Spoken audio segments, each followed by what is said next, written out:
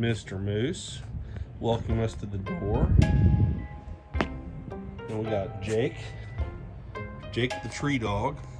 I don't have a name for uh, Black Beauty, so I guess we'll just uh, call him Brown Beauty because uh, like a child I'll call it obviously what it looks like. That's not a bear, that's a lion. And now we have our angel. So anyhow, these are too cool not to share. And uh, hope you all behave, keep the house safe.